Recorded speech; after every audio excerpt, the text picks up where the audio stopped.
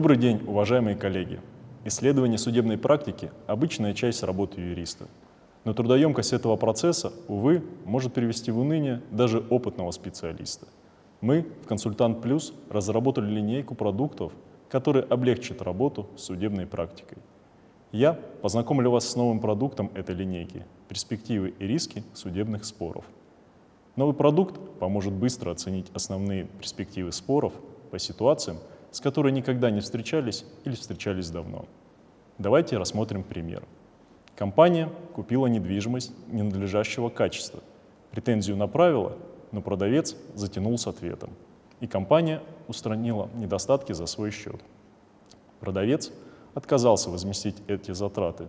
Компания раньше недвижимость не покупала, и поэтому юристу или руководителю сложно оценить перспективы конфликта. Стоит идти в суд или затраты на процесс себя не оправдают? Давайте найдем ответ с помощью нового судебного продукта. Обратимся к положению Гражданского кодекса о продаже недвижимости. Это параграф 7 главы 30. У названия параграфа размещено примечание «Перспективы споров, связанные с куплей-продажей недвижимости». Новый продукт вы всегда сможете найти по таким примечаниям у нормы, а также с помощью быстрого поиска, карточки поиска – и кнопки «И» к статьям в основных кодексах и законах. Перейдем по ссылке. В оглавлении представлен полный перечень прогнозов по спорам, связанных с куплей-продажей недвижимости. Чтобы найти подходящий прогноз, в поисковой строке над оглавлением вбиваем «Устранение недостатков».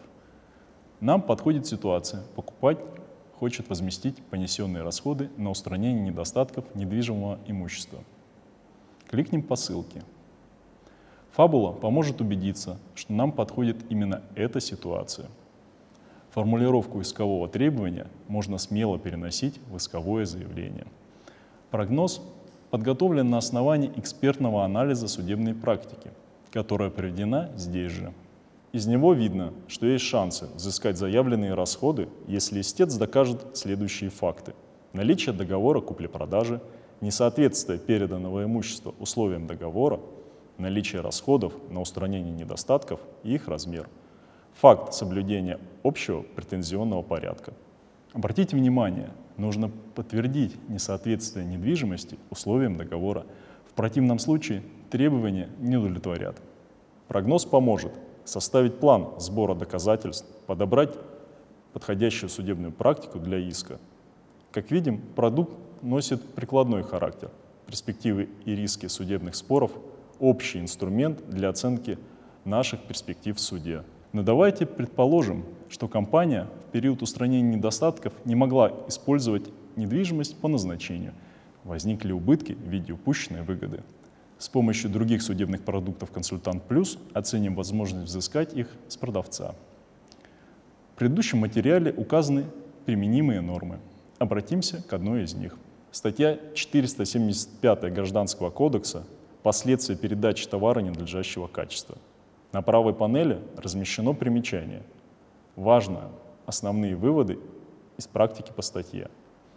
Аналогичные примечания вы наверняка встречали в гражданском, процессуальном, налоговом и другом специальном законодательстве. Этот судебный продукт – важнейшая практика по статье. Он лаконичен и включает только существенные моменты по общим проблемам применения нормы. Перейдем по ссылке. Для решения вопроса с убытками отметим этот вывод. Покупатель может требовать возмещения убытков, уплаты неустойки и процентов за пользование денежными средствами. Вернемся к норме. Сразу под заголовком размещен путеводитель по судебной практике. Здесь можно увидеть частные случаи, когда может возникнуть та или иная проблема спора гражданско-правового характера. Кликнем на название продукта, чтобы увидеть конкретные выводы. Например, в практике встречаются договорные условия о выплате определенной суммы на случай передачи некачественного товара. Эту сумму суды могут квалифицировать как неустойку или убытки, что важно для подготовки доказательственной базы. Для нашего примера из практики стоит проверить, нет ли иного условия в договоре. Обратимся к статье 15 Гражданского кодекса «Возмещение убытков». Сразу под ее заголовком размещена ссылка на перечень позиций высших судов. Здесь сконцентрированы разъяснения гражданской и процессуальной тематик Высшего арбитражного и Верховного суда. Обратим внимание, например, на позицию об определении размера упущенной выгоды. Она рассчитывается исходя из размера дохода, который могло бы получить лицо за вычетом непонесенных затрат.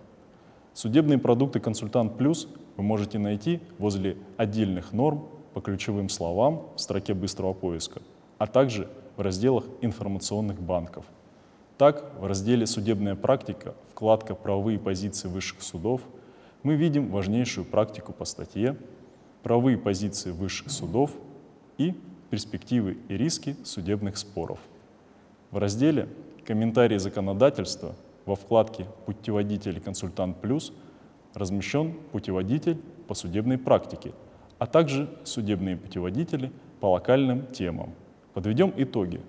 Мы рассмотрели на примере различных продуктов «Консультант Плюс», как юрист может решить целый комплекс задач, требующих работы с судебной практикой. Не имеет значения, готовитесь вы к суду или составляете проект договора. Воспользуйтесь разными авторскими материалами, созданными вам в помощь. Перспективы и риски судебных споров помогут быстро оценить основные перспективы спора по ситуации, с которой никогда не встречались или встречались давно.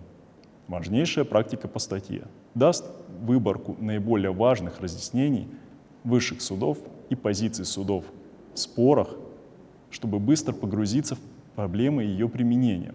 Правовые позиции высших судов помогут детально изучить разъяснения и позиции по конкретным делам, рассмотренных высшими судами. Судебные путеводители углубиться в узкие вопросы толкования и применения судами норм Гражданского кодекса.